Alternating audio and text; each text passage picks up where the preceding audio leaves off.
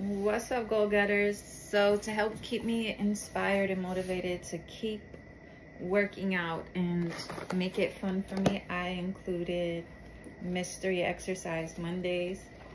I have two books here, over a thousand exercises, where without looking, I go ahead and pick an exercise.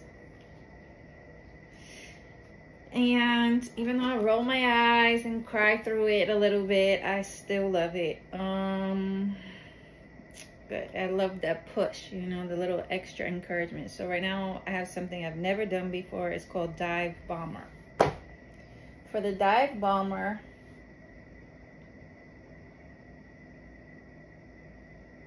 it starts off as if you're gonna do a push-up. So just like this on the floor. It says ground your toes and your hands.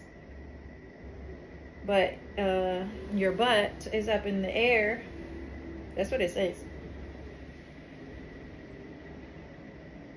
Shoulders slightly uh, behind your hands. Lower your chest toward the floor.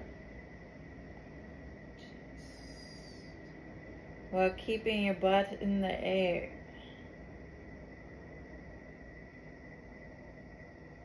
Oh, hell no. Arch your back and push your body weight out in front of your arms. Raise your chest. Reverse the movement back into.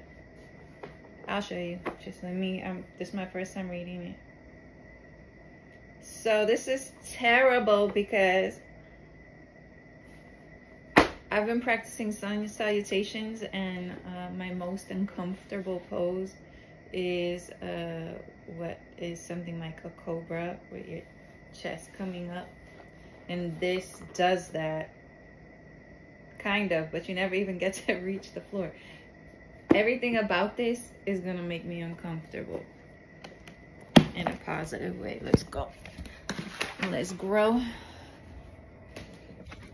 I think I've seen people doing it. I never had it broken down to me like this before. So,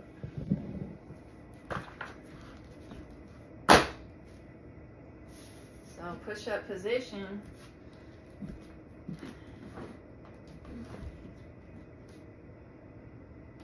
But up in the air. What the heck is that? come down, chest first, and come up.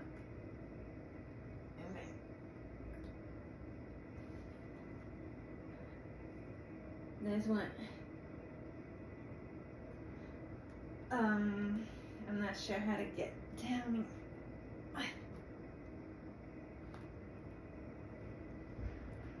Two? I don't know.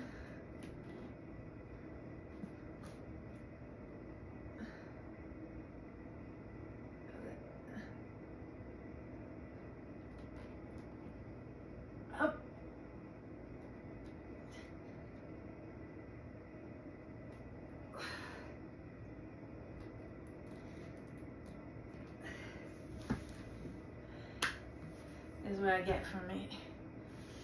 So today's just an exploration. That's just the exercise. You could choose your own number of reps and sets.